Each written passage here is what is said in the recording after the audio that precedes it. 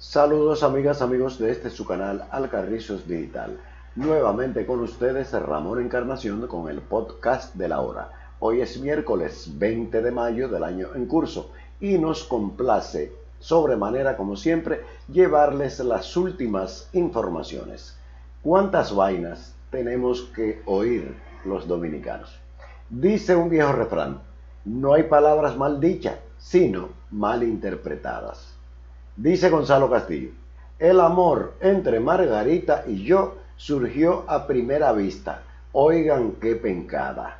¿Pretende el penco darle celos a Leonel Fernández? ¿Cuántas vainas? Los elogios entre Gonzalo Castillo y Margarita Cedeño de Fernández han sido una constante entre ambos desde el pasado 24 de febrero, cuando el candidato presidencial por el Partido de la Liberación Dominicana la anunciara como su compañera de boleta.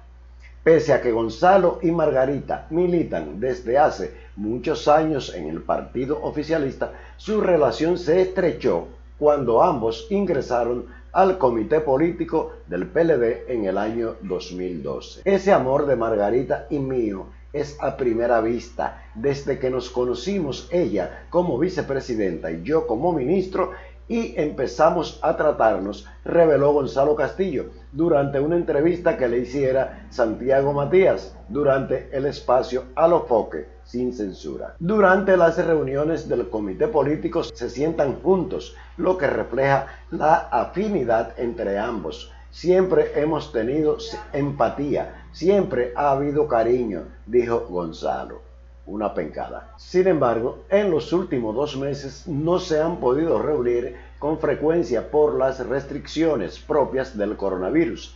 Esta pandemia no nos ha dejado juntarnos mucho, pero muy bien, afirmó Gonzalo, tras explicar que mantienen comunicación a través de la plataforma de mensajería de WhatsApp. Cuando Margarita Cedeño fue presentada como compañera de boleta de Gonzalo Castillo, dijo en su discurso que el candidato le reveló que solo podía confiar en ella para hacer el trabajo que tiene en agenda ejecutar a favor de los más necesitados. Y quiero confiarles algo, dijo Margarita Cedeño en una ocasión, con el perdón de Gonzalo. Cuando Gonzalo me pidió que fuera su vicepresidenta, me recalcó, es que Margarita, tú hablas con tanta pasión de la gente más necesitada que yo solo confiaría en ti para cuidar junto a mí de todas esas familias que están en mi corazón, recalcó Margarita el pasado 24 de febrero. También en un spot publicitario con miras a ganar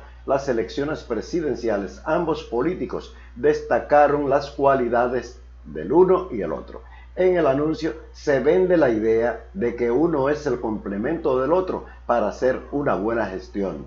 La vicepresidenta citó lo trabajador que es Castillo, mientras este resalta la capacidad de trabajo que ella posee.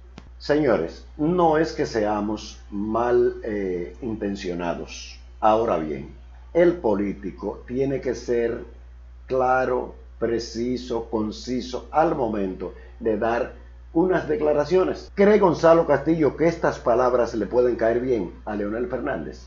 No, no, porque se puede malinterpretar. Amor a primera vista.